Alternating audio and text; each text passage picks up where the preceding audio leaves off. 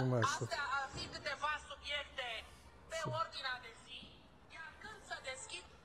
Что бред какой-то. Вот, значит, мы вчера, то есть в прошлый раз, в прошлую субботу, как бы доказали теорему формальности Концевича.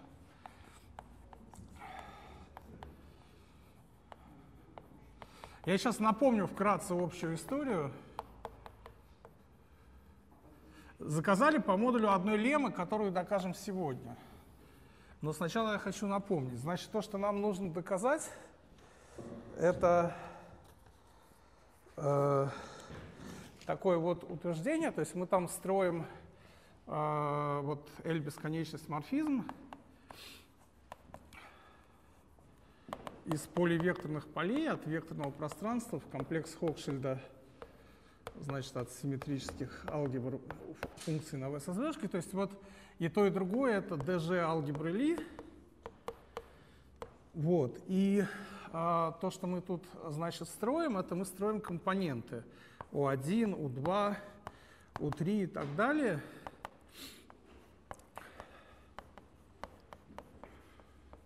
В Хох это сохраняет степень. Это значит из лямбда 2 t поле в Хох сдвинутое на минус 1. Лямбда куб t поле Хох сдвинутое на минус 2 и так далее. И, значит, была предложена некоторая явная формула, что у n это сумма э, по всем графам гамма из, э, вот, которые называются э, admissible, то есть, скажем так, вот у n от э, гамма 1 гамма гамма n от f1 fm это значит такая сумма по всем этим графам гамма. И тут с точностью до коэффициента некоторого рационального стоит э, W гамма умножить на U гамма. От гамма 1, гамма n, от f1, fm, где вот этот коэффициент это просто некое комплексное число. Значит, было предложено, значит, что можно, а, ну, была, был некий способ, значит, сказать, что W, то есть мы определили пространство CNM, некое конфигурационное, у которого размерность равна 2n плюс m минус 2. И э, мы построили, э, и значит, э, граф гамма определяет определяет форму, э, значит, омега гамма, вот тоже такой же степени 2n плюс m минус 2 на вот этом откры, это открытое пространство, но оно имеет еще комплектификацию, и интеграл, соответственно, сохраняется. При, то есть можно считать, что мы интегрируем по э, компактному многообразию. Вот эта штука, она, значит, является многообразием с углами. Вот, ну, значит, как, я напомню, как строится вот эта форма.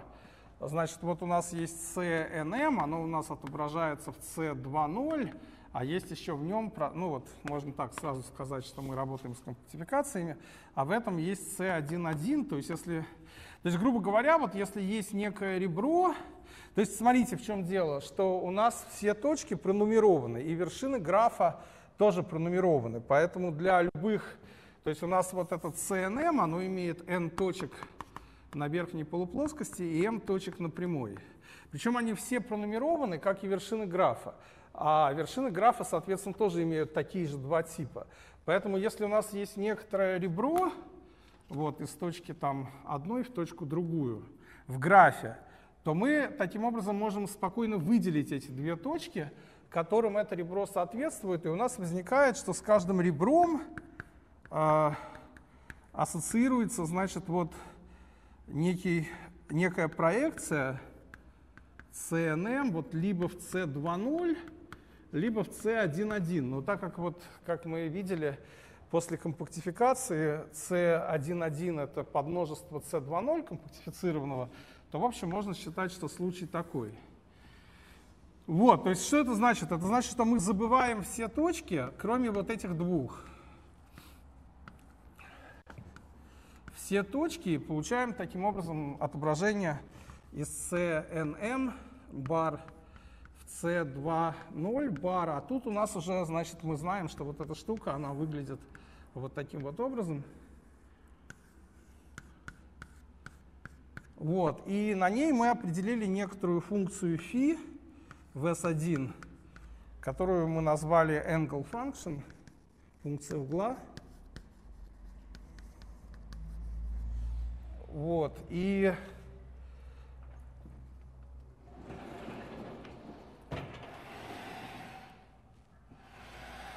Значит, формула для W гамма с точностью до некого рационального числа устроена таким образом, что это интеграл по CNM э, компактифицированное или открытое, значит, внешнего произведения по всем ребрам. Вот, и тут стоит PE от DFI. То есть можно как бы взять DFI, это форма на... Ну, как бы DFI, вот, то есть можно... Не, ну, правильно сказать, конечно, не так. Uh, правильно сказать, d-angle — это форма на S1. Вот. После этого можно сказать, что d по определению это φ со звездочкой от d-angle. Вот. А тут уже тогда можно написать, что мы берем прообразы вот этих один форм и перемножаем по всем ребрам. Заметьте, что в определении вот этой сущности входит то, что это 2n плюс m минус 2 ребра. То есть мы получаем таким образом интеграл, в который э, некоторые формы максимальной степени, степени равной размерности этого пространства. И вот это, ну тут еще нужно написать некоторое произведение значит, по star v факториал по всем вершинам и, по-моему, еще произведение 2π в степени 2n плюс m минус 2. Тогда это уже будет точное равенство. Вот. Ну и, в общем, формула тогда уже без рациональных факторов, насколько я понимаю, устроена таким образом, что вот это вот такая вот сумма. И было показано, что O1 при таком определении тут выживает только один граф, то есть который удовлетворяет вот нашим условиям. Вот. G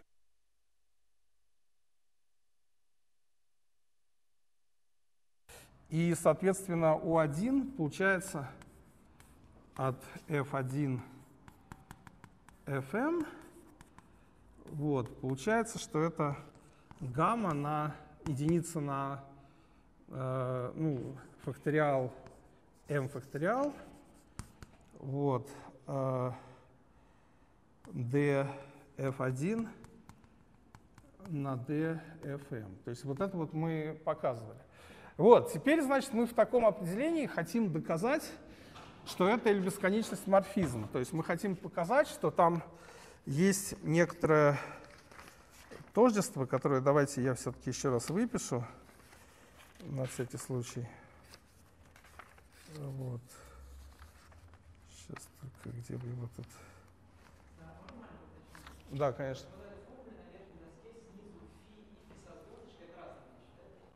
Не, ну это просто обозначение, я же вот написал, ну я не знаю, как сказать. Но вот у вас есть d-angle, это форма на S1, это стандартный евклидов угол.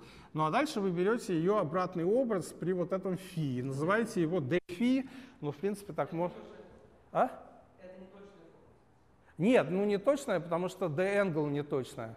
d-angle определена с точностью до 2π, значит, d... ну да, не, ну вообще, если у вас есть э, вот функция, любая, совершенно не обязательно такая, э, вот э, сюда, ну да, вы можете взять dφ, правильно? Ну, я так понимаю. Это будет как бы форма, ну, вот как бы можете взять универсальное накрытие этой самой окружности, это будет вполне корректная форма, ну, потому что при d вот эта константа схлопнется.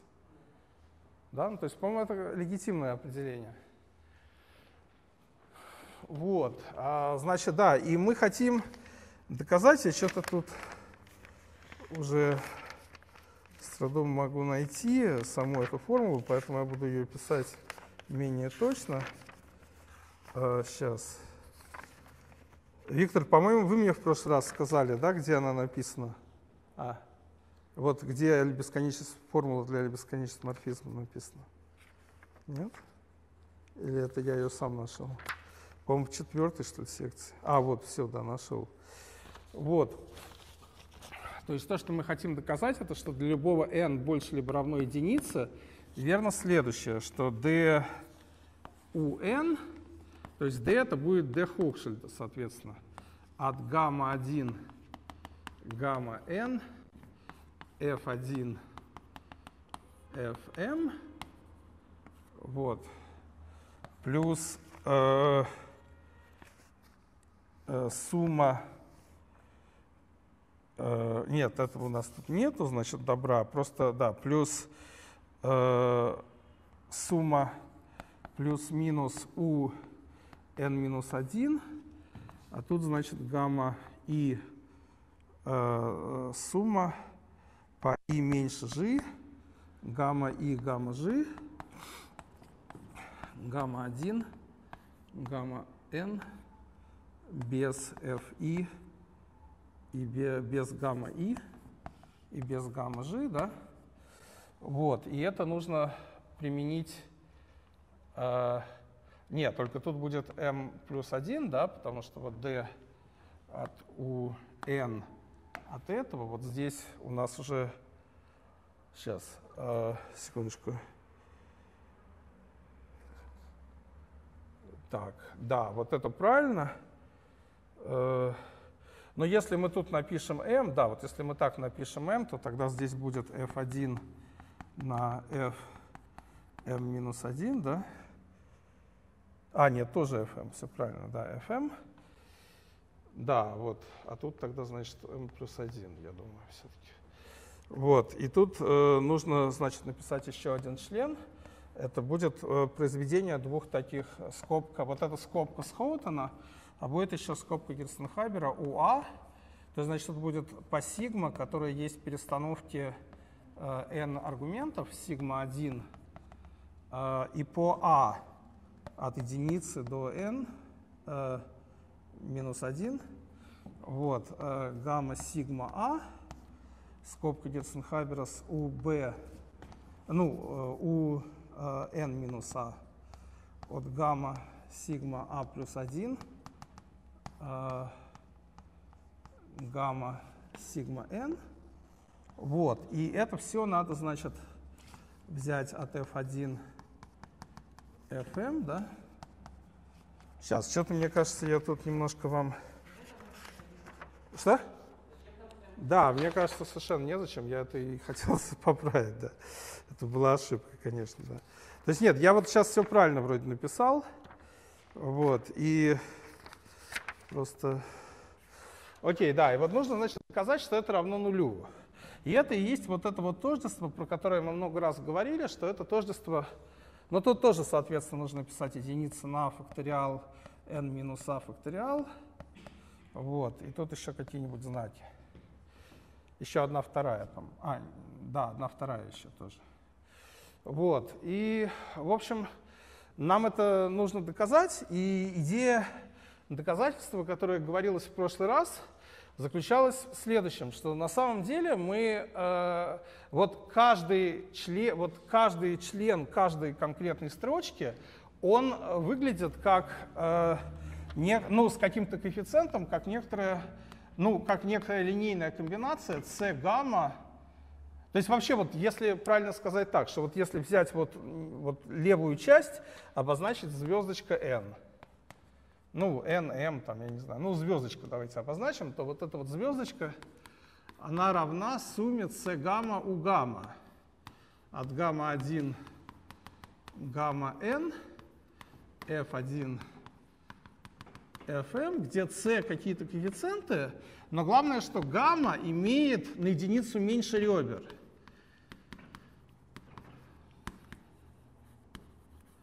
Вот, и вот в этом как бы суть. И просто мы это там смотрели, на разные просто брали отдельные члены, собственно, мы их все перебрали, увидели, что действительно в каждом члене получается 2n плюс m минус 3 ребер. Вот. И нам надо доказать, надо доказать, что c гамма равно нулю для любого такого гамма. Ну, гамма, которая принадлежит гамма nm, у которого 2n плюс m минус 3 ребра. То есть это не совсем то гамма nm, которое тут стоит, потому что тут это 2n плюс m э, минус, э, где тут это было? Вот тут, потому что тут это 2n плюс m минус 2 ребра.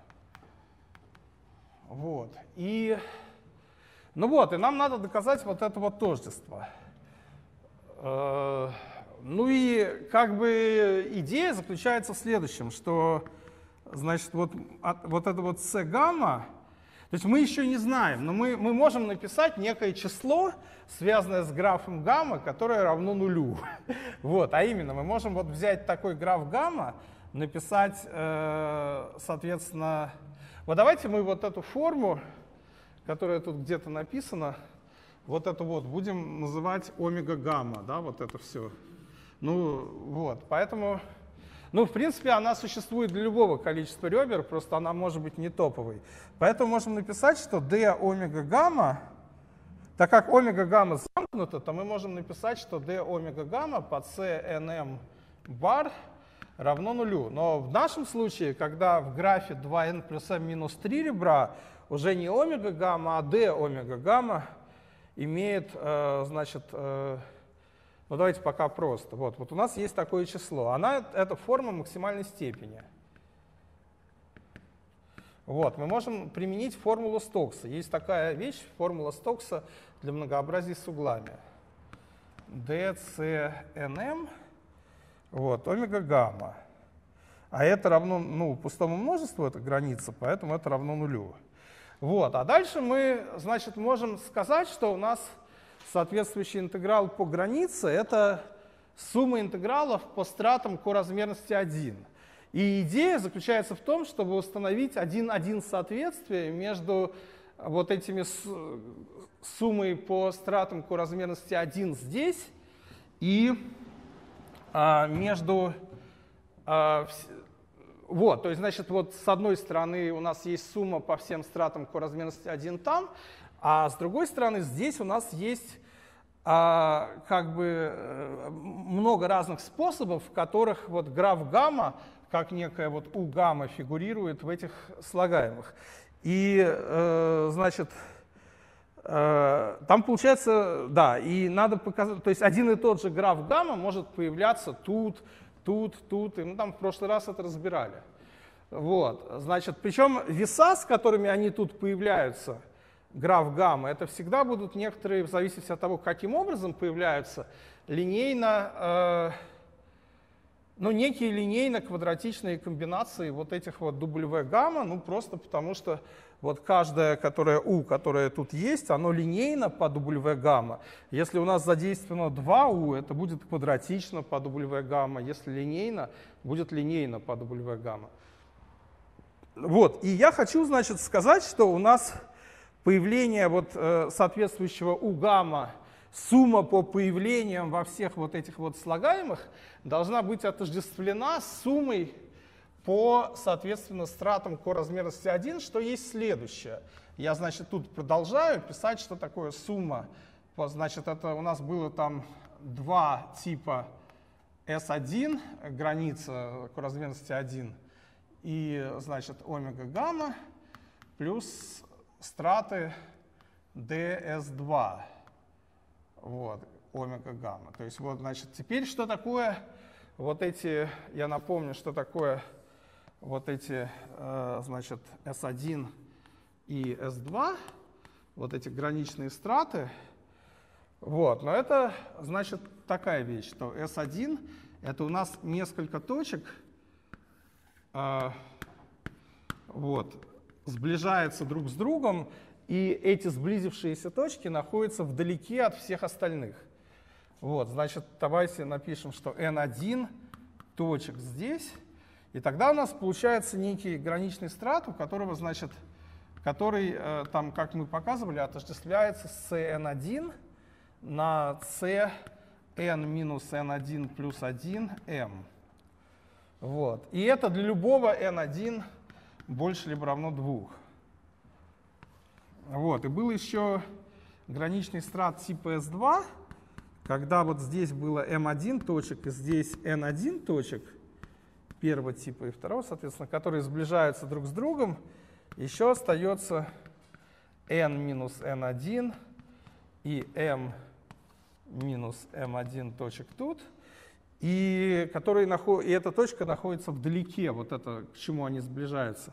И тогда граница тут была, соответственно, c n1 на m1 умножить на c n минус n1 m минус m1 плюс 1. Вот, плюс 1 получается из-за того, что вот эта вот точка, то есть они сближаются, но вот эта вот точка, к которой они сближаются, она же movable, так сказать, она не фиксирована к какой-то там определенной координате, да, поэтому это как бы как еще одна точка, которая сближается. Алгебра геометрически говоря, это такая вещественная версия раздутия диагоналей, как бы. Ну вот, вот, в общем, и, э, и, соответственно, у нас есть по всем таким вот, э, по всем таким вот э, делам, ну, интегралы. И более того, мы знаем, а чему вот эти вот интегралы по таким граничным стратам равны. То есть это очень просто. А именно, смотрите, они просто... Сейчас, а где-то тут это было. А вот.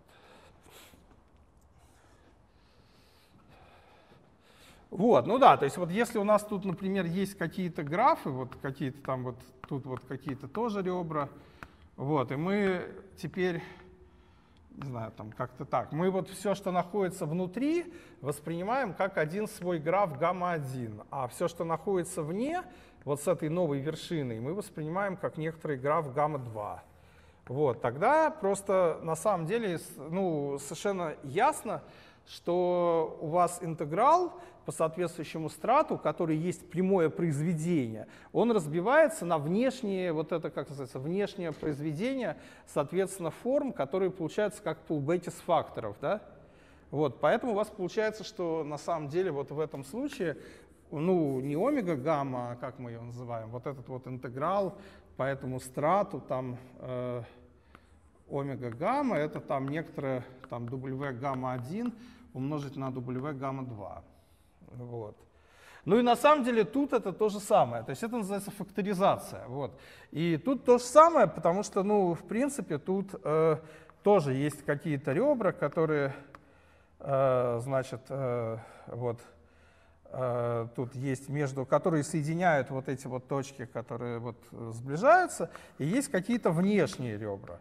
И это, соответственно, там тоже графы гамма-1 и гамма-2, вот. И по тем же самым соображениям мы видим, что интеграл по этому страту от омега гамма равен тоже омега гамма 1 умножить на омега гамма 2. То есть просто мы на самом деле, то есть вот этот интеграл устроен таким образом, что ну, что вот эти все, ну вот как бы вот эта группа точек, она фигурирует как одна, поэтому ну вот э, все вот эти вот ребра, которые ведут к разным точкам в предельной ситуации, они ведут к одной точке. Ну вот, поэтому у нас получается на самом деле, что это такой как бы pullback, да, то есть там но это строгое совершенно рассуждение, на самом деле. Здесь вот никакого жульничества нет. Это получается некоторый такой, значит, жульничество у нас будет вот в доказательстве Лемы 6.6 некоторое. Хотя я постарался его минимизировать, в общем. Вот, хорошо. Значит, э, э, вот, значит, получаются такие произведения. Значит, я еще говорил, что, в принципе, у нас вполне может быть ребро, которая какую-то вот эту точку соединяет с какой-то внешней, и тогда с точки зрения предельной это ребро, значит, это, вот, это ребро выглядит вот таким образом. И у нас нету никаких вот членов здесь, потому что вот здесь у нас в точке на прямой ребра только входят по определению. Вот, и, э, значит, вот это, эти вот конфигурации, которые притягивают вот какую-то точку, от которой во внешней точке есть ребро, вот такие конфигурации оказываются лишними, и это плохо. Поэтому ну, они на самом деле, вот эти все графы, вот, в которых есть такая ситуация, соответствующая W гамма-1, оно равно нулю, и это следует из того, что наша форма, вот, вот это следует из того, как мы определяли вот эту функцию φ. Мы ее определяли таким образом, что на верхней вот этой вот дуге она была равна, она была равна просто в константу, она все это дело отображала, а верхняя дуга как раз соответствует вот точкам, которые вот отсюда бьют куда-то во внешнее пространство. Ну вот, значит, значит, вот мы видим, что по формуле Стокса ситуация у нас очень простая. То есть ситуация такая, что э, значит, э, у нас вот есть э, довольно простое количество вот этих предельных конфигураций, которые все нужно учесть для того, чтобы сказать, что 0 равен их сумме. И в каждом конкретном случае мы получаем, что у нас значит, соответствующий интеграл равен либо ну, какой-то линейный, там, ну, в принципе, если вот здесь, например, две точки, то мы там с точки до 2π получаем рациональную комбинацию, наоборот, вот линейную. Да, ну, то есть, в смысле, ну, в общем, строго говоря, ну или также линейные случаи у нас э, соответствуют тому, когда здесь две точки чему-то вот как бы там соединяются, а другого нету. Тогда это тоже там интеграл, который сразу дает число 1 там, или что-то такое. Вот, значит, э, что получается? Получается, что на самом деле некоторая квадратично-линейная квадратично-линейная комбинация, квадратично-линейная комбинация – там э, типа как сумма W гамма 3 плюс сумма W гамма 1 на W гамма 2 равна нулю для любого вот графа гамма. И вот эти гамма 1, гамма 2, гамма 3 получаются всевозможными вырождениями. В принципе, учитывая, что эти числа W гамма мы не можем посчитать явно, но это некое довольно приятное, нетривиальное следствие. Но теперь как бы идея показать, что вот соответствующие инкарнации вот этого у гамма в левой части, вот в этой вот звездочке, они в точности возникают в тех же самых случаях, которые соответствуют вот этим граничным стратам, и они возникают вот ровно с такими же коэффициентами, весами. Вот. Ну и это мы как бы в прошлый раз показали. Я думаю, что тут уже это повторять не имеет смысла, потому что мы... Ну, я в двух словах повторю. Вот, значит, давайте повторю в двух словах. Вот что у нас есть вот здесь. Здесь у нас есть... Э, сейчас надо только что-то стереть.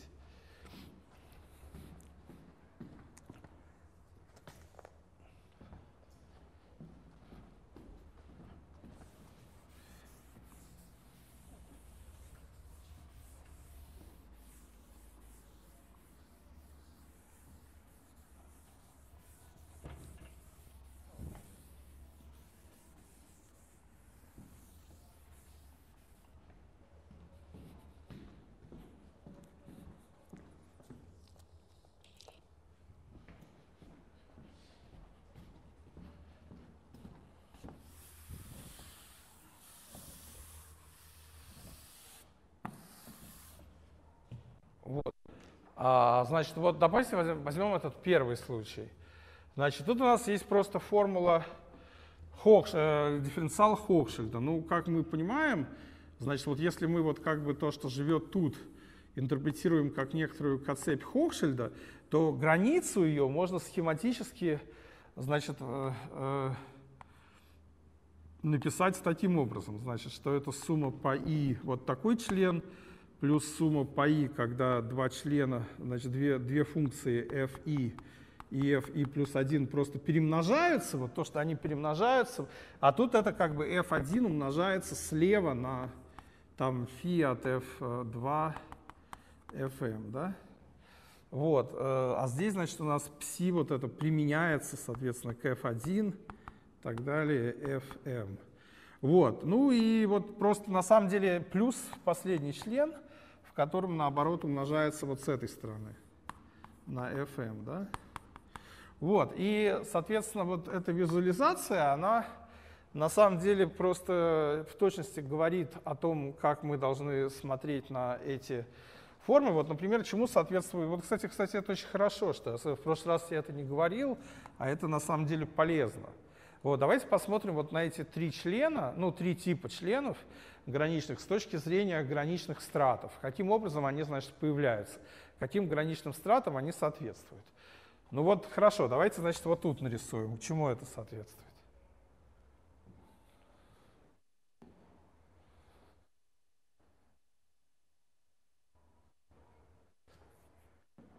Ну, я бы сказал, что вот все точки, кроме одной, вот, и все точки нижние, ну, на прямой, и все точки верхние, вообще совершенно все, они, то есть n1 равно n, m1 равно m минус 1. Они, значит, все вот сближаются вот туда вот, как бы это становится бесконечно малым, фигня. Вот. Ну и вот одна точка остается тут. И эта конфигурация совершенно стабильна. Стабильно, потому что вот, вот это, ну, это стабильно как бы по определению, что n1 больше либо равно единице. А вот это, ну или там 2n плюс m э, минус 2 больше, ну, короче, все понятно. Вот, но тут главное, что, помните, мы говорили, что все точки не могут сближаться. То есть должна быть хотя бы еще одна точка, не из не сблизившихся, либо на прямой, либо наверху. Вот вы, собственно, тогда обратили внимание, да, помните? Вот, для того, чтобы это было стабильно. Но тут вот одна такая точка есть, то есть этот страт, это будет C02 умножить на C n, n э, m, m просто, m, нет, m минус 1. Вот. Ну вот, у нас, значит, получается вот такая штуковина, да, в которой, соответственно, у нас, э, который у нас соответствует, ну вот если мы этот интеграл просто отождествим, это как бы точка, это пространство, она имеет размерность 0, и это точка, вот у нас получается, что соответствующий интеграл, э, который вот возникает здесь из первого члена, ну, как бы вносят вклад только вот эта штука, да, и это будут линейные такие члены, которые линейно зависят от W гамма. И, естественно, они соответствуют ровно тем же стратам вот такого типа, которые, то есть вот ровно такой же граф у нас будет здесь, когда вот кроме одной самой левой точки все остальные сблизятся к одной точке, и вот это вот будет то же самое, потому что тут у нас есть факторизация, и тут есть фактори... интегралов, а тут она есть как бы по определению. Да? Ну, вроде понятно. Вот, давайте посмотрим вот следующий. Ну, вы уже все и так поняли. Следующий это когда две точки сближаются сюда, а больше никто. Вот. И таким образом у нас, э, значит, э, соответствующее пространство, это будет c n, э, m минус 1, совершенно верно, на c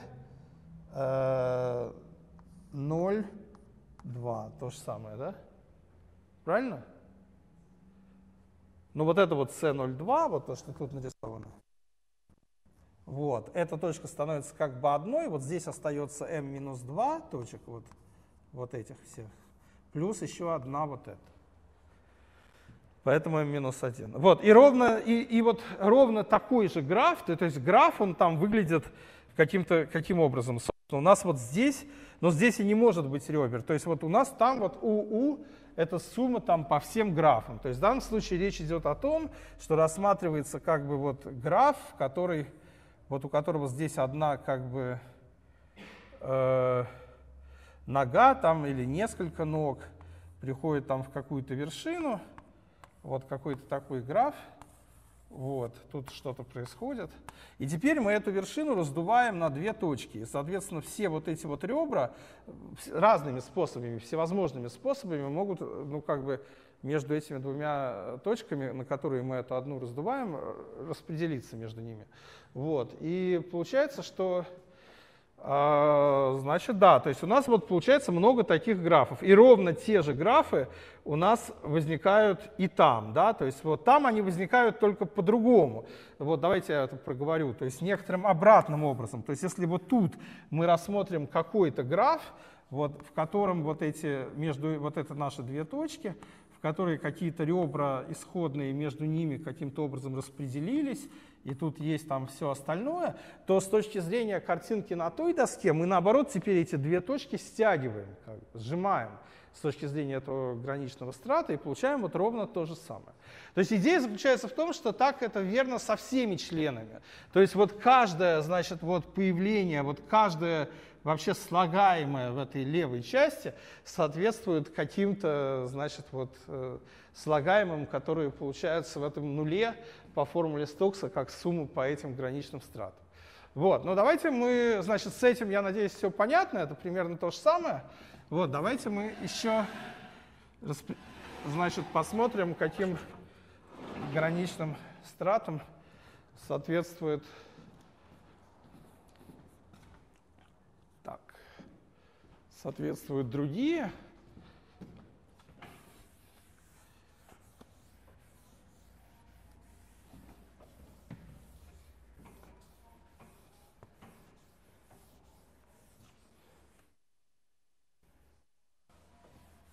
Так. Хорошо.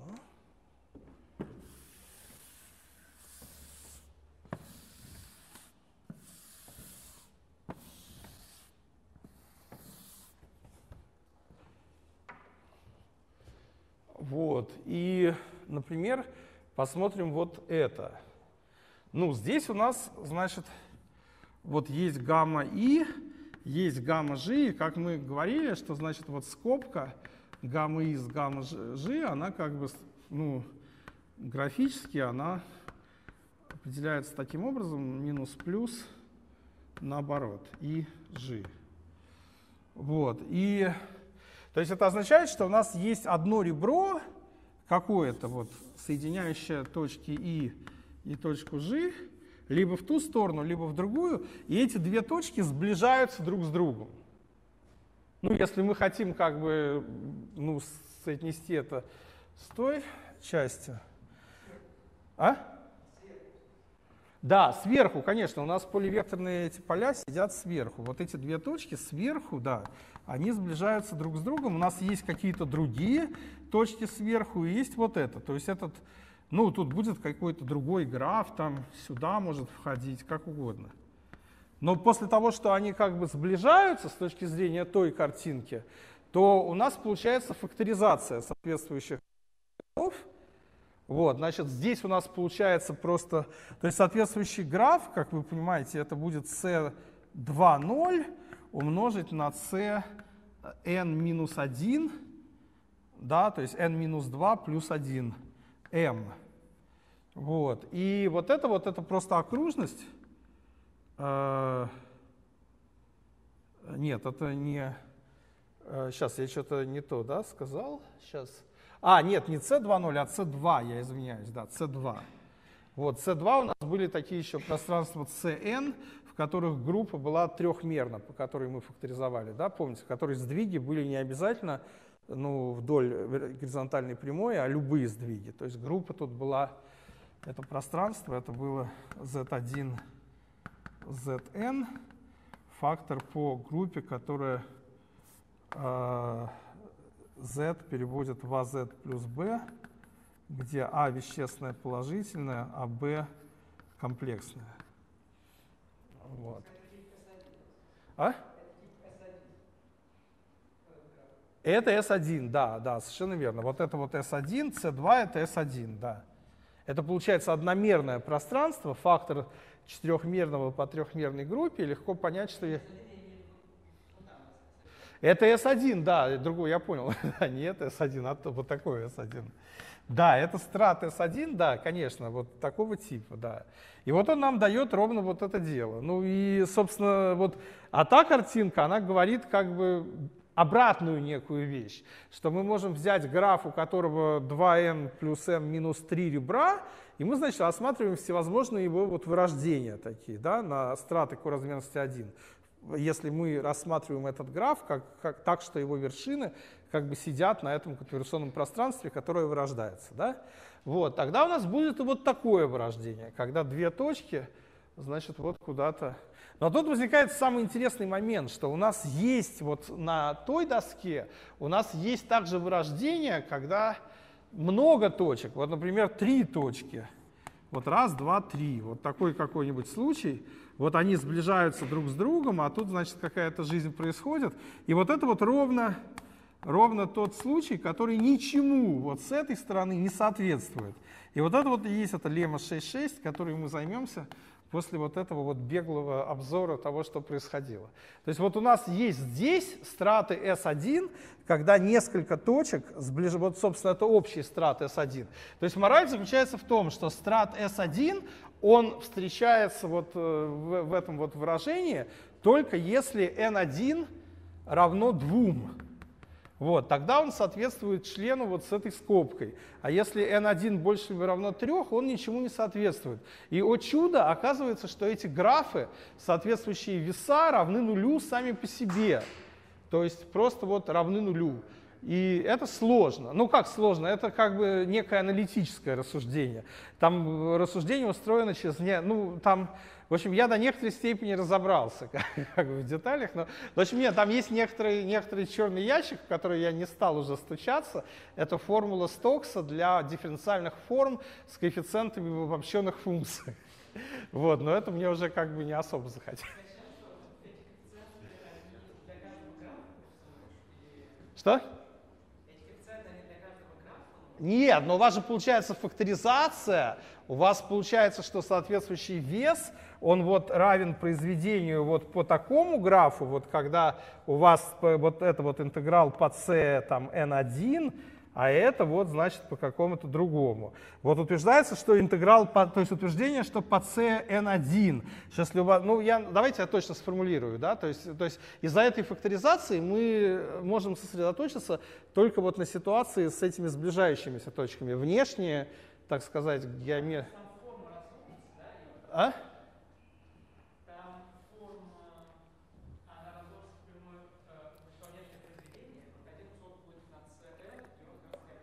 И он как раз равен нулю, да. И после этого второй кусок нас не очень волнует. Как бы. Вот, то есть мы видим, что тут вот это вот, соответственно, то, что называется лемма 6,6, которая говорит, что при n1 больше либо равно 3, w гамма соответствующий равен нулю. Вот этим мы займемся немножко позже. Ну вот, давайте, значит, теперь разберемся с последним, вот этой, с последней сущностью, вот с этой вот формулой. Значит, как мы ее должны визуализировать. Давайте вот тут ее визуализируем. Вот, но тут у нас, значит, это вот ситуация типичная такая S2. То есть у нас уже была ситуация S2. Ситуация S2 у нас была такая мельком. Она у нас была вот здесь, да, вот это тоже ситуация S2. Но это была какая-то очень недоделанная ситуация S2, потому что всего две точки там, да. А вот это вот настоящая ситуация S2, когда вот несколько точек вот N1 и m1 сближаются друг с другом, какие-то точки остаются, n минус n1, m минус m1, соответствующий страт у нас э, это, соответственно, c n1, m1, и тут у нас c n минус n1, m минус m1 плюс 1. Да? Вот, и э, вот, ну и, собственно, если мы будем рассуждать в терминах вот этих вот граф, то, то, в графах, то как мы можем вот посмотреть на эту формулу для скобки Герценхабера? Что вообще такое вот, давайте будем вот точно так же делать с помощью вот этой визуализации такой, давайте только надо что-нибудь стереть, вот это, например.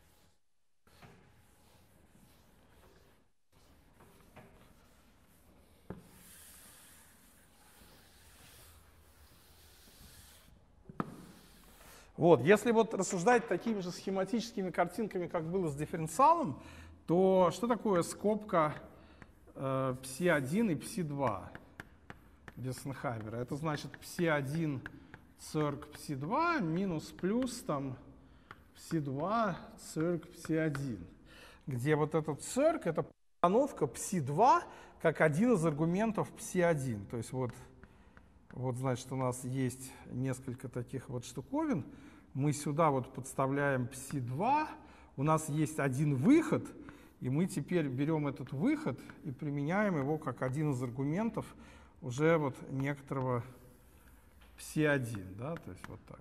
В принципе, как-то, конечно, глупо это все нарисовал, потому что обычно люди... Но обычно люди рисуют просто скорее вот так, что вот у вас есть некое psi2, у которого есть несколько входов и один выход.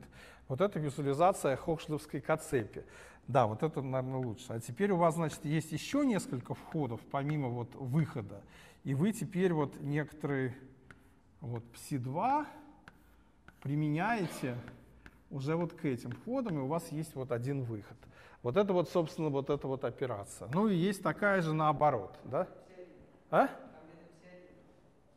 Да, где-то psi1, вот здесь, я думаю. Вот. Да, совершенно верно, да. Да, композиция это сумма по всем, да. То есть вы можете в любую это сумму по и, где и это номер вот этой вот ноги, соответственно, и знаки тут как бы плюс-минус.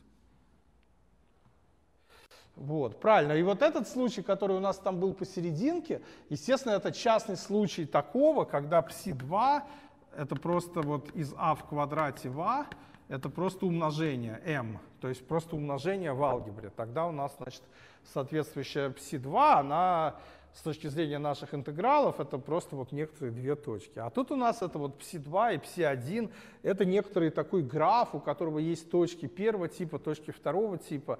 И мы как бы вот берем вот этот граф, который тут psi2, и рассматриваем как один из аргументов. Это значит, что все, что в нем как бы замешано, вот тут какой-то свой микрограф, там гамма-2, да, он э, как бы вот э, где-то здесь, а теперь еще внешний граф, он вот как-то вот так вот устроен, что тут и действует еще там на эти точки, на эти, на эти, вот на другие.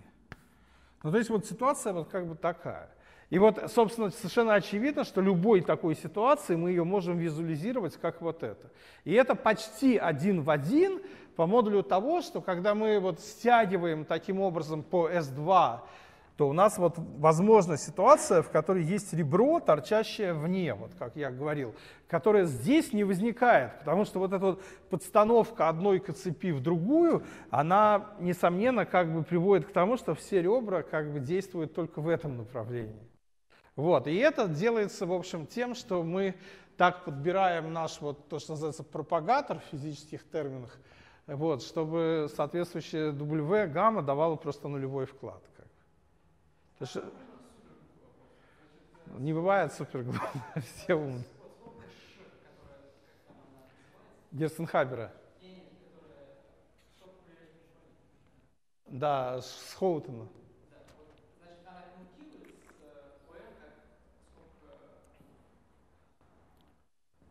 СО1.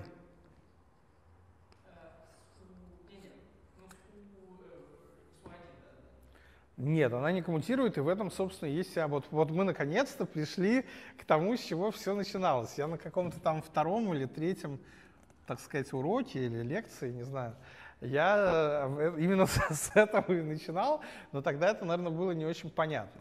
Давайте вот я напишу, что У1 от гамма-1, если взять эту скобку СУ1 от гамма-2, то это равно у1 от гамма-1, гамма-2.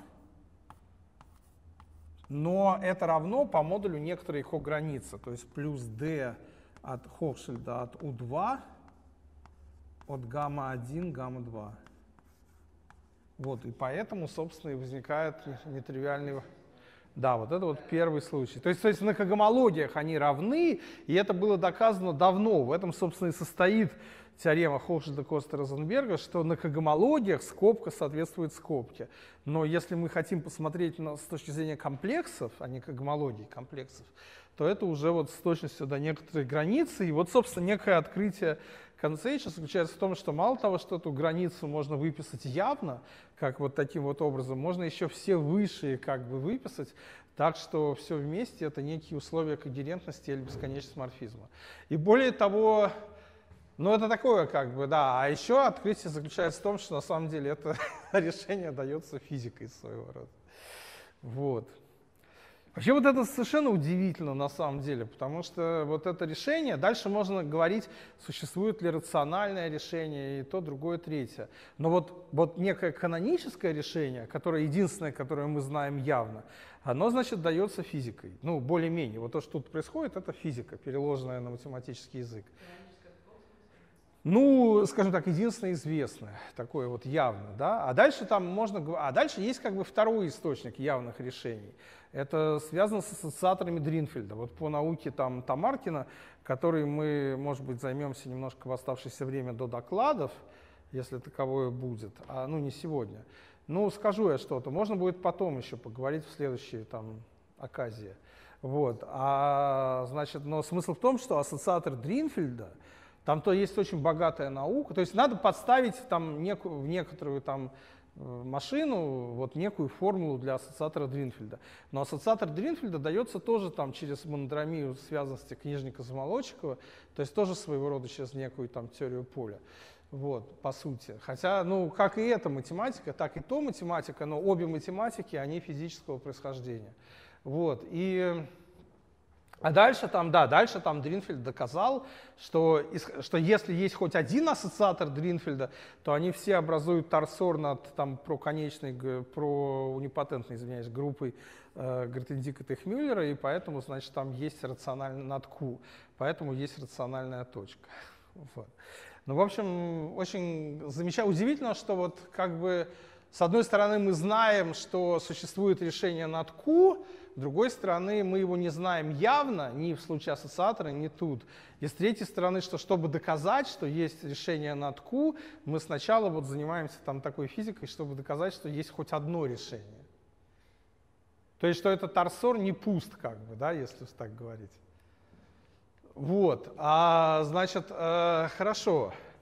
Значит, давайте теперь, э, то есть, как вы видите, как вы видите, у нас получается так, что у нас есть почти один, один, один к одному соответствие вот между этими граничными стратами и вот этими слагаемыми, э, которые у нас возникают здесь. То есть, значит, в том смысле, что граничных стратов, ну, связанных с графом, да, вот если мы еще графы тут рассматриваем, но все-таки больше. А именно вот в случае S2 бывает страт с внешним ребром, который ничему не соответствует. Но мы это очень быстро как бы решили вопрос, просто руками, можно сказать, грубой силой.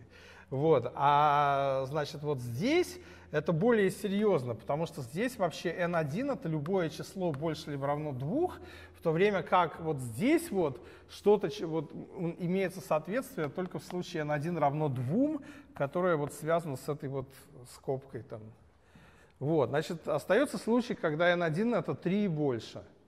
И вот это вот и есть то, что называется лемма 6.6.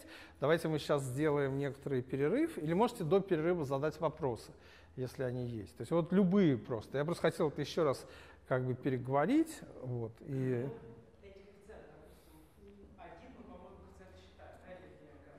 Ну, мы вот для Хохшильда Коста Розенберга мы посчитали, что это единица на k факториал, да.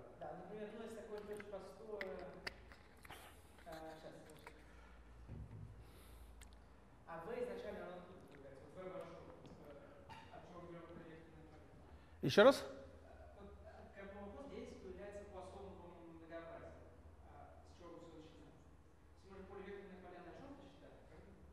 Ну, вообще на РН. Вот здесь РН. Да, да, дальше мы глобализуем на поассоновом многообразии, это другая история. Вот, ну, любое многообразие, по сути дела. Здесь? Для чего? Для У2.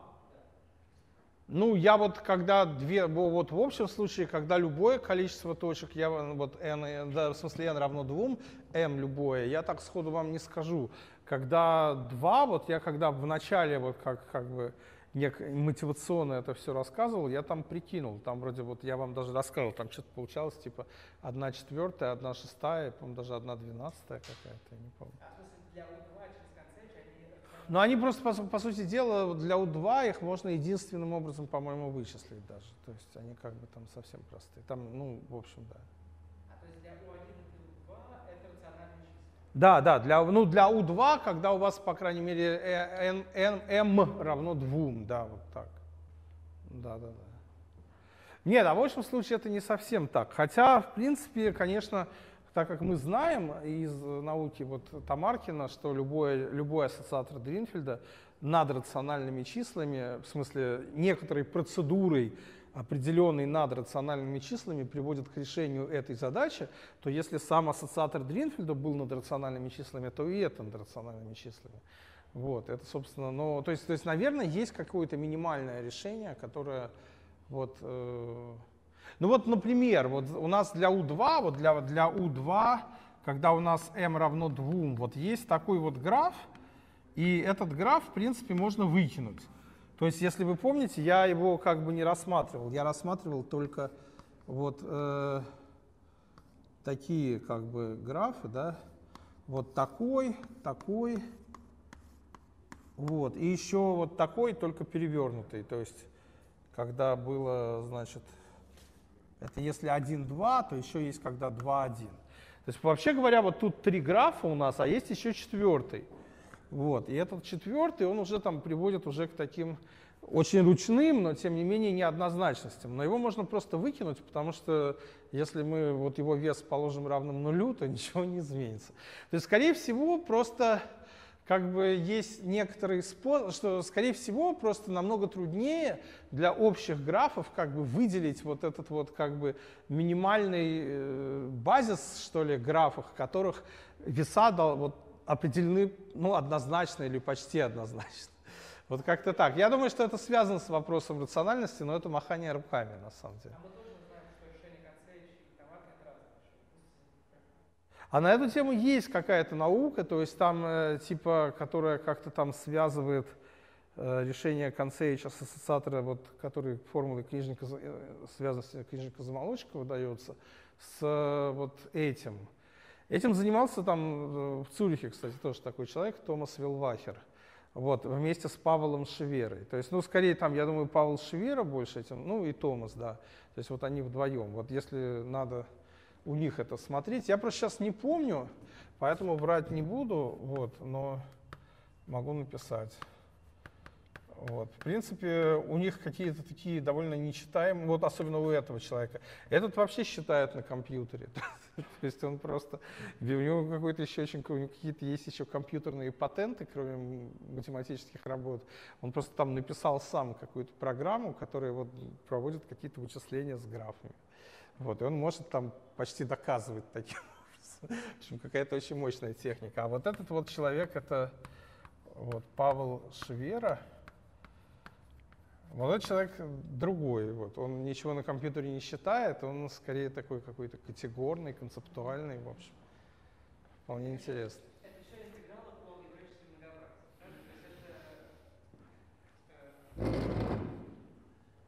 И это, ну как это, ну по вещественным каким-то, это же все-таки, вот, э, ну вот мы сейчас посмотрим, как бы, не, вот когда нам надо будет доказывать лему, что при n1 больше либо равно 3 у нас получается нулевой вклад, вот, то есть что таким образом у нас действительно получается один в один соответствие. Вот, нам, мы немножко поймем, что это за интегралы. То есть они, вот, например, в этом случае они сводятся к комплексным, но какими-то трюками, и в этом некие, там, в общем, какая-то... Я бы сказал, что это высший пилотаж. И я даже... А?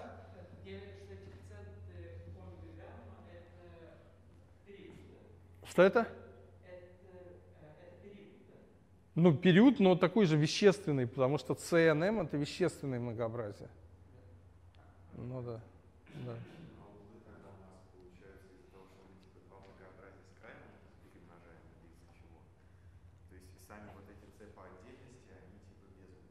Открытые, нет, когда с баром, то нет, открытые, да, открытые без углов, да. Это просто открытые многообразия, у них вообще границы нету. Вот, а, а теперь мы как бы добавляем границу. Вот правильно говорите, когда мы берем произведение двух, у нас получаются такие своего рода. Вот видите, вот даже можно на этом вот глазу, вот мы, собственно, вот этот глаз, этот C20 бар, вот мы его осматривали, мы даже там вот писали, что вот этот, вот, вот этот кусок, он без границы, это будет C2. Вот это окружность, да, вот этот кусок, это будет, я уже забыл, если честно, вот это вот такой кусок, значит, там сейчас, когда, да, то есть это получается C, э, вот это одна точка, то есть это будет C1, 0, вот, на, может такое быть? Ну, может, да, на C1,0, насколько я понимаю, да? Вот, и это то же самое, а это, это вот эта нижняя часть, а вот эта верхняя, это вот такое, то есть эта точка тоже сюда вот сближается, это тоже C1,0 на C1,0. Ну да, то есть там получается, а вот это, это некие такие тройные э, пересечения, это будет, соответственно, когда еще после этого еще и это сюда сближается. То есть эта ситуация будет вот такая. Одна сближается, другая сближается. Это у нас уже два вырождения к размерности 1, поэтому здесь будут C1, 0, умножить на c1,0, и еще вот это две точки теперь сближаются, то есть вот это все это c02. Вот, это каждый из этих пространств это точка, но тем не менее вот оно имеет такую презентацию. Да, ну и из-за этого таким образом возникают углы, действительно, да.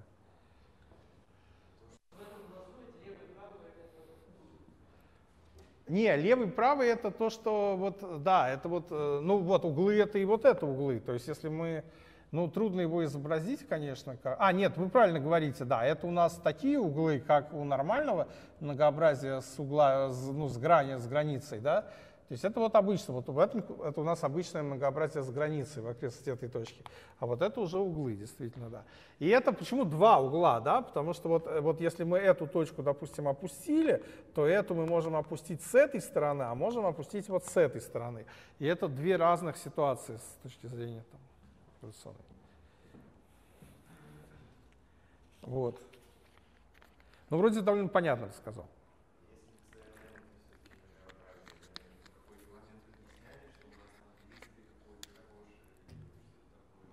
Еще раз? Мы же брали какое-то очень странное конфигурационное пространство и по действию топологической группы его факторизовали. Да.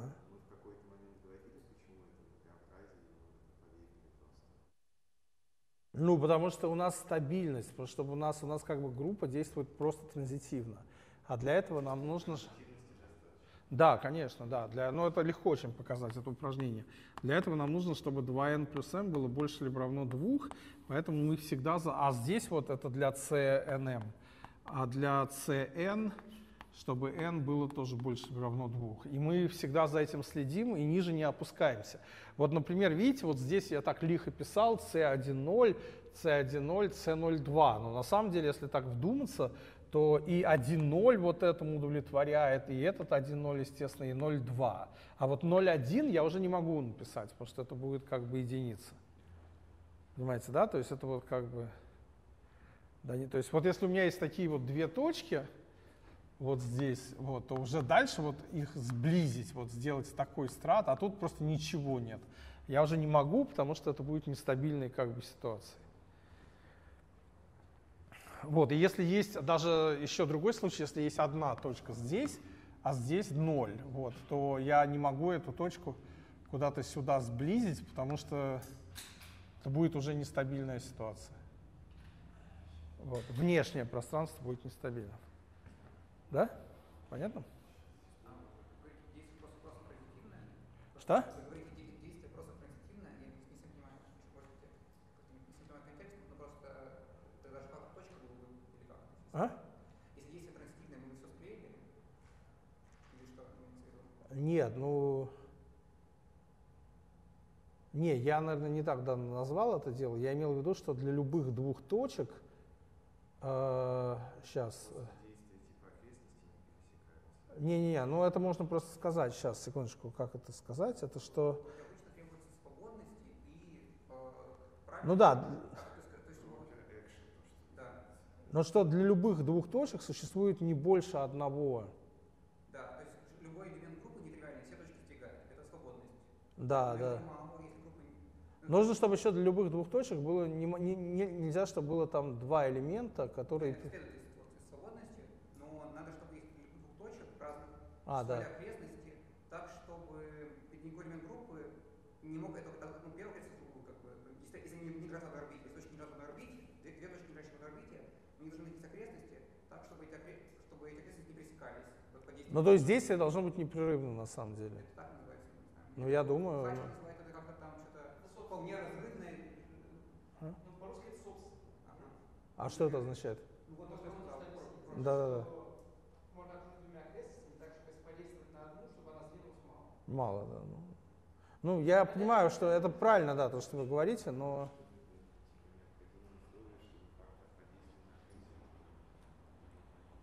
Нет, конечно. Если, если покрытие будет только если дискретная группа, а если не дискретная, то факторы не, например, как квадрат p прекрасно коррелируется. Вот.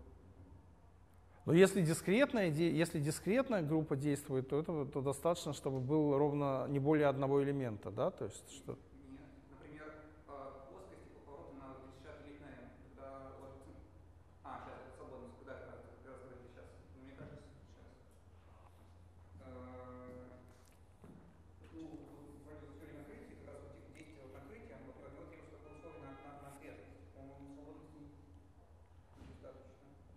Ну ладно, смотрите, ну это реально довольно простой вопрос, давайте я его не буду сейчас. Ну просто так или иначе верно следующее, что при n1 больше либо равно 3c вот действие на conf n вот этой вот трехмерной группы приводит к фактору, фактору пространства, которое есть многообразие гладкое, вещественное. И вот то же самое вот с этим conf nm, когда 2n плюс m больше равно 2. А там как же доказать, это уже...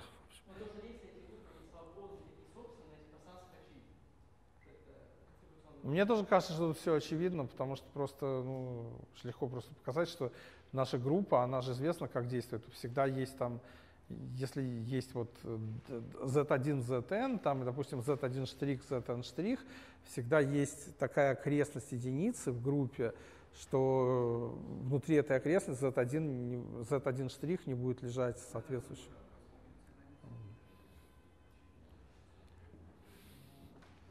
Не, ну вот, правильно обращать внимание. Я, правильно.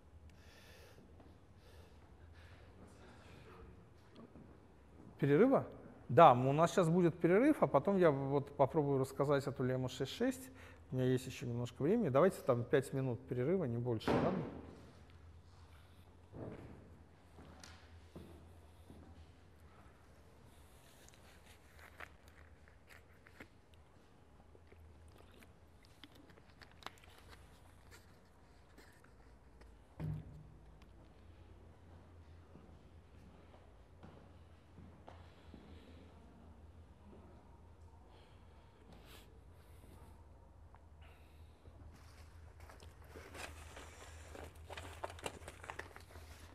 Вы вот все прогуляли, да? Все прогуляли, весь почти курс. Ну да. Наверное, непонятно. Я, мне было бы ничего непонятно, если весь курс прогулять. Но вроде мне говорили, что это вот была такая, как это называется, какая-то необходимость, потому что там был какой-то очень нудный семинар, который нужно было вычислительный, да, практику, Да, да. который нужно, Да. да. У нас там преподаватель очень интересный. Понятно, Извините, а можно задать вопрос? Он конечно, хотели? Конечно, можно. Вот, может быть. Вы знаете, что такое характеристическое многообразие? В смысле D-модулей? Да. Пучков там каких-то вот этих? Слушайте, ну да, знаю, но я не хотел бы сейчас переключаться как-то это слишком. Ну да.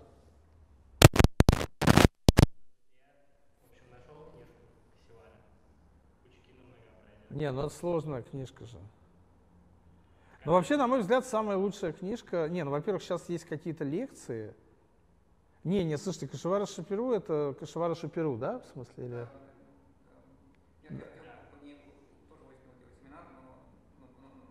Но, это очень сложно. Не, ну просто дело в том, что вот, э, вот то, что вот, вот мы тут как раз вспоминали, последний, не, да- не так давно, там, я уже в двух разных там разговорах вспоминал вот э, некий, некое интервью Володи Воеводского, которое он давал вот э, русской корреспондентке, э, вот той, кстати, самой, которая в этом, в, не в Троицком варианте, но которая вот, вот какую-то разносную статью про то, что в Питере ничего не будет в плане математики, Ольга Орлова, да, по-моему, зовут, написала. Вот она с вами брала интервью Воеводского после того, что он получил философскую медаль. Где-то в Пекине это, по-моему, происходило. Вот. И, и он очень здорово там говорит вот на тему того, что сначала он там рассуждает, будет или не будет ядерная война, что тоже да, довольно современное какое-то получается неожиданно рассуждение. То есть он там, то есть он делает такую гипотезу, что в ближайшие 10 лет будет. Но с другой стороны, это был какой год-то? 90... Нет, 2000, 2000, по-моему, это был 2002. В ближайшие 10 лет все прошло. Прогноз. А? Ну, вряд ли все-таки. Ну, в, в таком вот смысле, как он говорил, вряд ли. А дальше там его спрашивают, ну хорошо, с ядерной войной там мы не будем мрачность такую нагонять, мрак. А что будет с математикой? А там говорит, а вот с математикой, независимо от того, будет ядерная война или не будет, ничего хорошего не будет.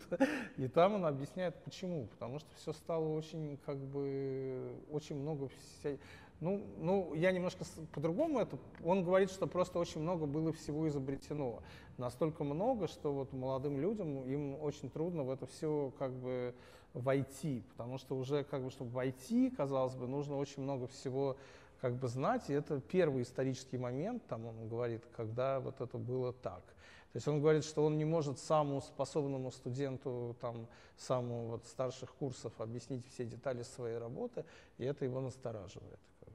Причем не может не потому, что студент плохой, а потому что все так усложнилось объективно. Вот. А, ну, мне кажется, что это можно чуть перефразировать, что просто... мне кажется, что еще есть другой момент, который, с одной стороны, то, что много всего открыли, это объективно, ну, хорошо, в смысле, затрудняет. А другой момент это, что люди стали очень формально обо всем писать. То есть, ну, вот это затрудняет, по-моему, немыслимо. То есть, вот, вот возьмите, вот, ну, с одной стороны, вроде книжки очень хорошие, с другой стороны, вот как бы они не пишутся как э, книжки для первого чтения, да, там для... Ну, не, ну Конь Кассивара Шапира вообще определенно точно, но он же там сразу с первой страницы заявляет, что это не, не учебник для первого прочтения. Да, да, да. Не, ну, я не, ну, может быть, я немного его прочитал еще, но, не, ну, я вот прочитал, там, такая- вот есть э, глава, там, про как это связано с дифурами. Вот я совершенно ничего не понимаю в дифурах, но, наверное, поэтому мне и понравилось. эта глава. Слушайте, а есть на самом деле книжка одного Кашевара только про демодуль. Да, маленькая такая вот. И вроде очень хорошая. Сейчас я вам скажу. Нет, вот это вроде бы, собственно, мне Шапира про нее рассказал. Вот второй соавтор. Он мне говорил сейчас, что вот эта книжка, да, наша, она такая непонятная. А есть вот там, причем, ну, у них там несколько страниц про то, что это самая понятная книжка, которую вы только можете Не, ну на самом деле там действительно как-то многие вещи хорошо написаны, но с другой стороны там, ну, надо...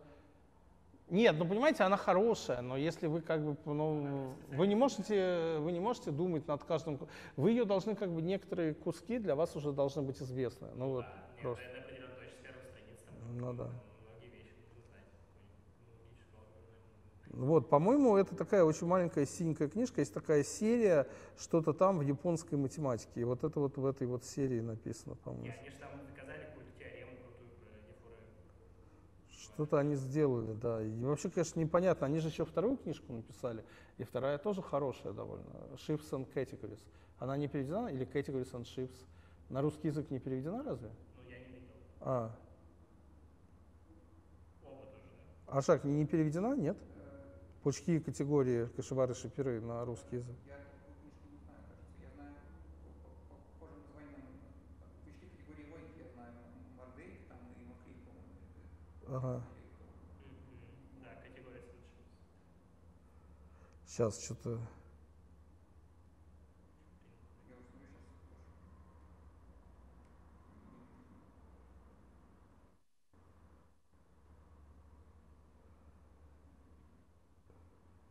Ну да, вот такая вот.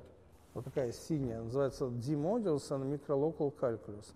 Вот это очень хорошая. Ну, я так понимаю, она описана, ну, какие, или я не Что? правильно понимаю, что какие-то вещи отсюда написаны в этом. Как еще раз называется? Сейчас, вот. Не, ну вообще самая лучшая книжка это, это Барель. Семинар Бареля, который еще был 80 Но есть лекции Иосифа Бернштейна, которые, конечно, очень хорошие, но их, может быть, трудно просто, они очень краткие. Есть лекции там э, Иосифа Бернштейна, который один из, в общем, инвенторов, так сказать, всей этой деятельности. Вот, но вот эта вот книжка, она начинается, я не знаю, тут вот можно ли посмотреть как-то ее начало, она просто начинается с каких-то, ну, совершенно простых соображений. Просто типа, что вот у нас есть, например, там дифференциальное уравнение с несколькими... Почему вообще d-модули? Потому что вот у нас типа есть, например, э, ну, какой, какие-то там функции, на которых несколько, на которых есть э, какое-то там дифференциальное уравнение. Да? Да. Вот, теперь мы можем как бы выбрать по-другому какие-то там... Ну, на- ну, по- по разным переменным пространствам. Может, другой базис системы. выбрать там да, и так вот, далее. вот там вот в Кашеваре так и написано, что вот там буквально... Кашевари Шапире. Да, там А. буквально вот это, там буквально так и мотивируется, там точно так же говорят, что вот поэтому возникают А. модули. Там переформулируются вообще как бы критерии разрешимости системы диффуров Да. линейных на многообразии, на языке там D-модулей, и там про них вообще все исследуют. И вот Да, да, то, да. что вопрос э, этого исследования системы диффуров можно вот Слушайте, ну давайте я сейчас просто не надо будет переключаться, я не, не- ну мне будет тяжело, поэтому. А есть вот такая, ну, в смысле про характеристическое многообразие. А вот эта книжка вообще совершенно замечательная. Она старая, говорят, что там есть некоторое количество ошибок, но в ней, в ней все понятно, по крайней мере. Вообще все совершенно понятно, самая элементарная книжка, абсолютно высокого научного уровня и при этом ну, очень понятная. Вот это пример того, как можно писать как бы по-человечески, не уменьшая научный уровень, что ли. Это доклады разных людей, которые как бы это семинар Барреля, там Барель дал просто, просто разные, как бы, можете сфотать, я не знаю, там, или найти у себя. Да. Сейчас я на LibGenic. Да, она есть, конечно, абсолютно точно есть.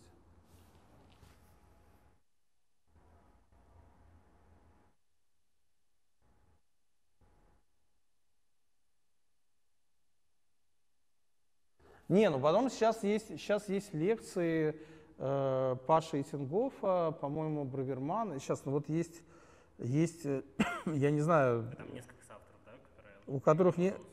У кого? Можно посмотреть?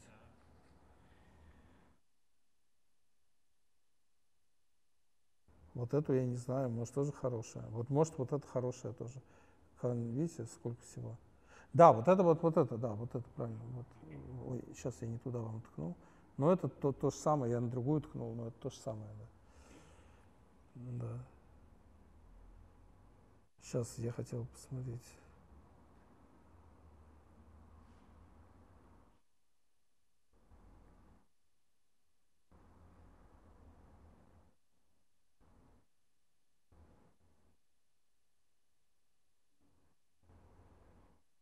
Не, ну вот это, я считаю, книжка Барреля чрезвычайно Как полезна. вот вы относитесь? Вы видели книжку Мутанзона? Не видел. Там она тоже... Вот. А есть вот, а есть вот в свободном доступе. Есть в свободном доступе вот лекции Паши Тингофа.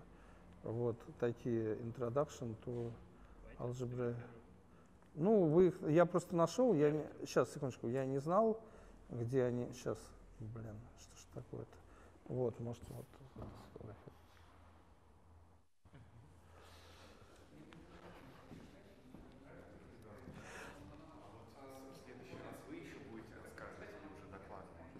вы хотите в следующий раз, да? Я не знаю, вот я думал, Аршак в следующий раз будет, но он сказал, что на Он 20 мая будет. Да-да-да, вот. Если хотите, можете вы, а если не хотите, я могу рассказать. Ну, просто я вот сначала думал, что ну, геометрически более-менее буду излагать, но сейчас вот у меня как раз по, так сказать, научной работе понадобилось прочитать одну очень возвышенную Ну вот расскажете нам, да?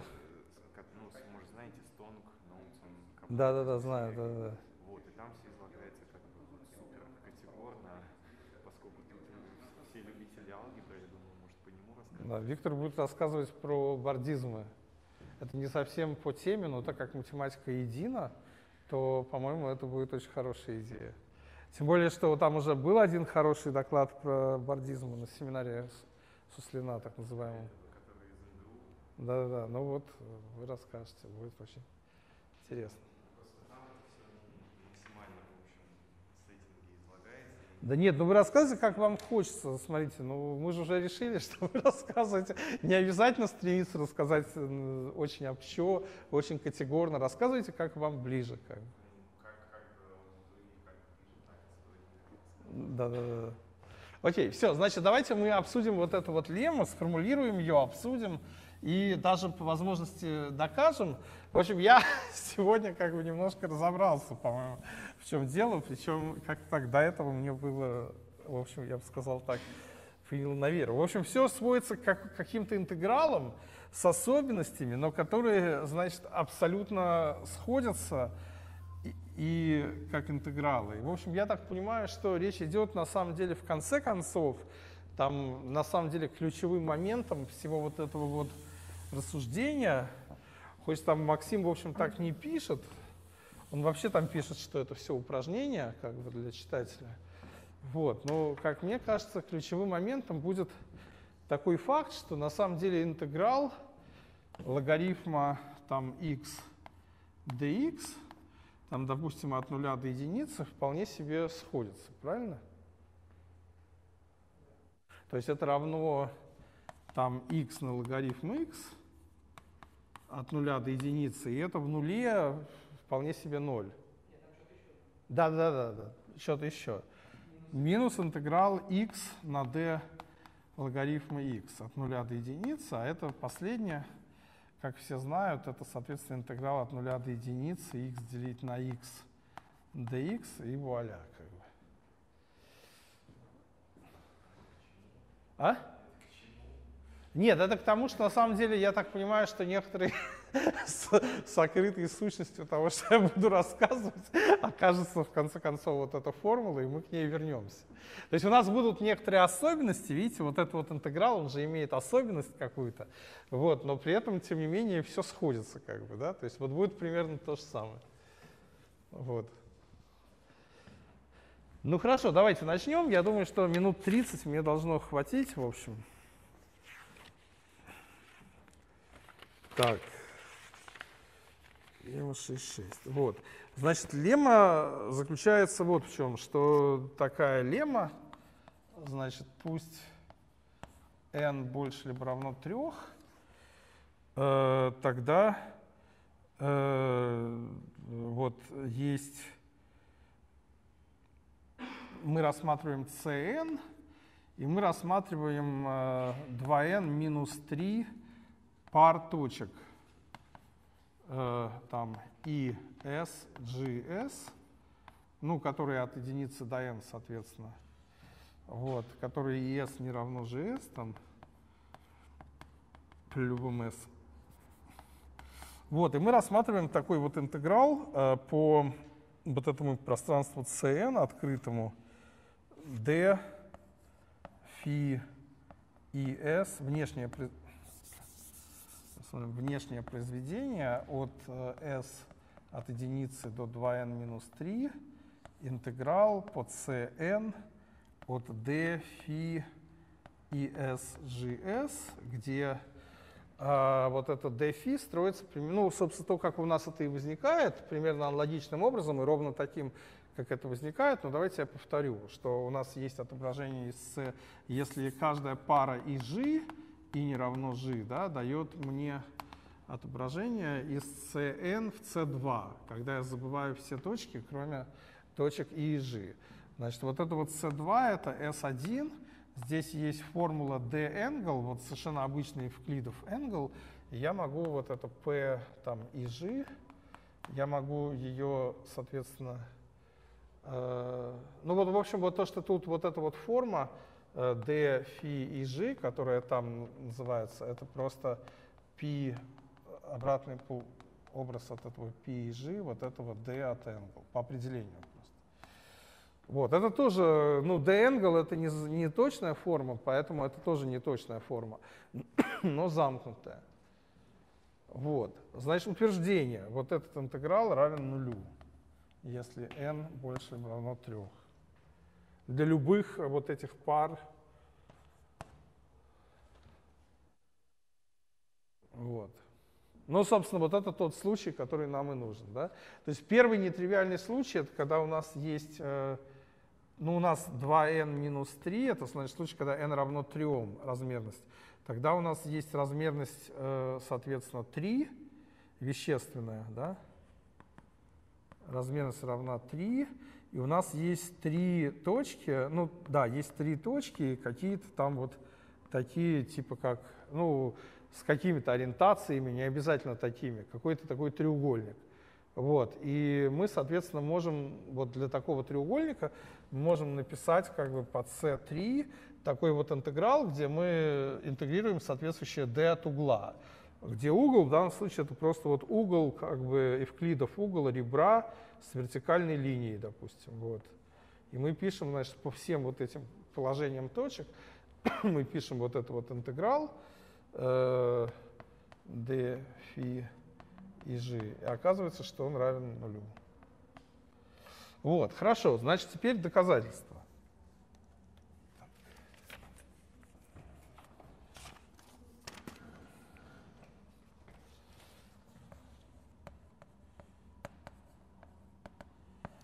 Вот, значит, сначала мы сведем эту задачу к задаче, когда, ну, это вещественная задача, а мы ее хотим свести к комплексной, чтобы у нас были как бы координаты z и z с чертой. И тогда мы используем некоторый трюк с логарифмами, когда мы заменим знак плюс на знак, знак минус на знак плюс. И суть этого трюка в том, что если у нас интеграл там, допустим, 2 n-формы по n-мерному комплексному многообразию, то он не равен нулю, только если количество dz равно количеству dz с чертой. Да? Поэтому можно как бы минус будет заменить на плюс, а после этого еще начинается самое интересное. В общем, сейчас мы вот этим займемся. Значит, ну вот у нас э, мы первую точку, вот у нас, значит, есть прямое произве... внешнее произведение, но тут они пишут альфа, давайте я буду писать вместо s альфа, как здесь написано. 2n минус 3, тут значит d э, фи и альфа g альфа. Вот, и мы можем написать, что это равно d фи и1 g1 умножить на внешнее произведение вот по э, там альфа равно 2 до 2n минус 3 d э, фи и альфа g альфа, но мы сделаем немножко по-другому. Мы напишем вот минус фи и 1 э, вот, да, и 1 g1. Ну, понятно, что это все равно верно, да, потому что... Вот, значит, теперь э, что мы э, делаем? Мы с помощью нашей группы G3 мы можем считать, что а, z1, а, что z1 это точка 0, а z, ну, ну да, допустим, вот z и 1, да, то есть не 1, а и 1, вот то, которое тут стоит. А zg1 это точка, которая, она принадлежит единичной окружности. Вот. Вот, значит, э, таким образом, наше многообразие, уже мы избавились тут от действия группы, э, вот, и у нас получается, что мы, ну, плюс есть какие-то там другие точки, там z2, так далее, zn, которые не равны, не равны, значит, э, z и не равно нулю уже, получается, и z и не равно вот этой вот точке zg1, которая на единичной окружности. Вот, вот это, значит, первая такая идея. Вторая идея, что э, можно вот с помощью вот этого вот трюка, вот этого вот вычитания, можно сказать, что интеграл факторизуется в два интеграла. То есть интеграл вот этого прямого произведения э, э, d фи и альфа и альфа g альфа, да, он равен интегралу d фи и1 g1 по окружности вот, умножить на интеграл от обратного образа, сейчас объясню в каком смысле, вот от остальных, значит, по c э, n минус э, 2. Да. Вот, значит, то, что тут, э, значит, написано, это такая вещь, это, ну, вот эта форма, которая здесь стоит, вот d фи.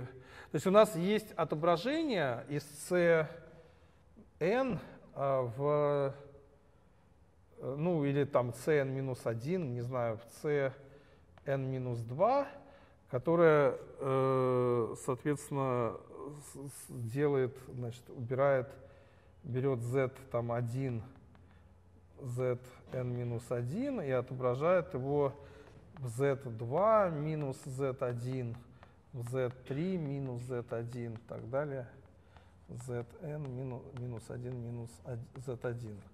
Вот, и теперь мы можем, значит, взять вот здесь вот соответствующую форму, произведения там d, φ и g. Вот, и когда мы, то есть, которая связана вот с, с оставшимися 2n минус э, Э, ну да, с оставшимися точками. Вот, и соответствующий, вот, вот если это P, вот, то соответствующий прообраз будет ровно вот этой вот формой. То есть наш интеграл изначальный, он вот за счет этого, так сказать, минуса, он равен, оказывается, произведению интегралов по вот пространству там из двух точек, то есть окружности, вот только от этой формы, и пространству там от остальных точек вот от, этого, от того, что стоит тут. Ну, вроде это понятно. Вот, ну хорошо, значит, э, после этого, ну так как по окружности-то оно равно 2π в любом случае, нам надо сосредоточиться, значит, вот на этом деле.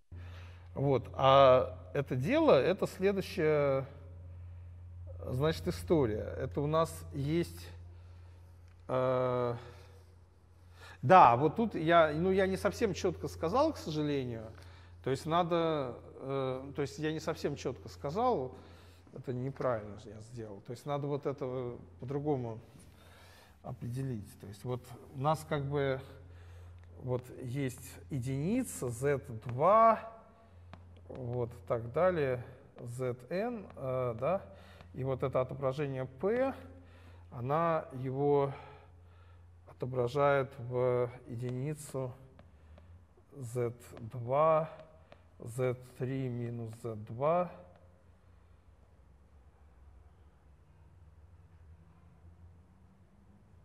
Нет, тоже не то сказал. Сейчас, а, секундочку.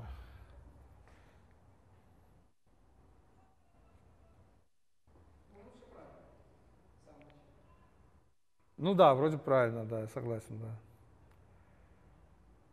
Не, ну то есть просто... Нет, то есть просто вопрос, какое пространство тут стоит. Дело в том, что тут у нас есть n-2 точки, каждая из которых не равна нулю и не равна единице. Ну вот у нас есть две выколотых точки, я хотел вот это уточнить. То есть у нас точка 0 выколота, и тут мы поворачиваем эту окружность, да поворачиваем до точки 1. И оставшиеся, как, то есть вот с точки зрения вот точек, которые стоят здесь, это n-2 точки, которые еще не равны нулю и не равны единице. То есть, наша, то есть на самом деле вот здесь правильно написать c там n-2 штрих, или даже лучше conf n-2 штрих, вот, где э, conf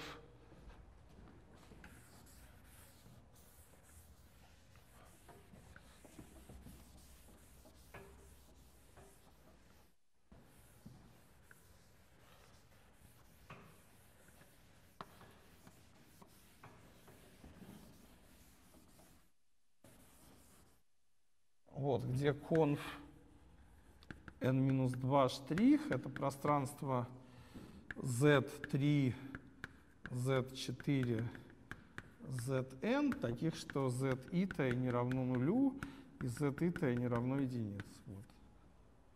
И вот на этом пространстве у нас вот есть некоторые, ну вот у нас, короче говоря, p это отображение там из cn, в это вот conf n-2 штрих. Вот, и у нас соответствующая форма будет обратным образом форма на conf n-2 штрих. Вот так. Ну, какое отображение? Такое, как было написано. То есть у нас, соответственно, мы можем считать, что здесь стоит пространство, тоже уже не фактор по группе, а некоторое там conf n2 штриха, в которых собственно, z и 1 равно нулю, и z, ну, z1, допустим, первая, допустим, равна нулю, а вторая бегает по единичной окружности. И мы поворачиваем все на z2, и вот мы оказываемся вот в этом пространстве, потому что z2 у нас уже равно единице, у нас оказывается еще n-2 точки, которые не равны нулю и не равны единице. Как бы. А? Нет, n-2.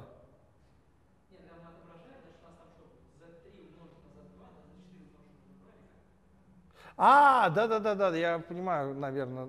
Нет, нет, сейчас. Э, минус? Нет, не, минус не умножить. Почему? Но вот у нас есть угол, вот у нас есть угол, то есть в чем идея? Что у нас был угол фи и s, g, s.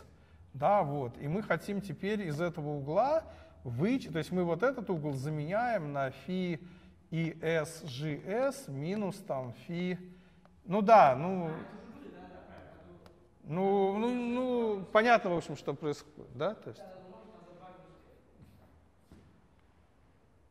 почему умножить-то? Это же и взаимный угол. Вот угол определен не, не для, это не аргумент z2, а это как бы аргумент z1 минус z, z минус zg. А, ну, ну, наверное, да, вы, наверное, правильно говорите, да, вы правильно говорите, ну, да, в общем, я согласен, что, ну, то есть тут нужно умножить, но, судя по всему, на z1 минус z2 в минус 1, вот так, потому что это же, ну, аргумент z1 минус z2, вот это. Ну да, да, вы правильно говорите. Ну, я имел в виду, ну, геометрически это просто поворот. Да, вот. Ну, в общем, короче говоря, это очень простая вещь, и она сводится к интегралу, соответственно, вот по этому пространству, которое тут написано, conf n-2 штрих, значит, тут стоит тоже внешнее произведение, их, соответственно, 2n минус 4, да, э, этих самых формы, d, фи и альфа, g альфа. Вот. И теперь, значит, утверждается, что этот интеграл равен нулю, если n больше либо равно 3.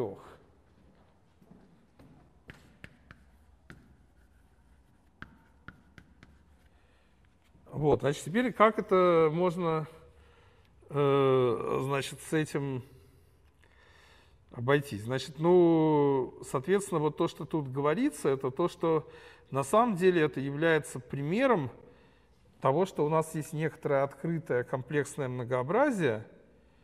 Э, то есть оно является как бы частным случаем следующей более общей теоремы.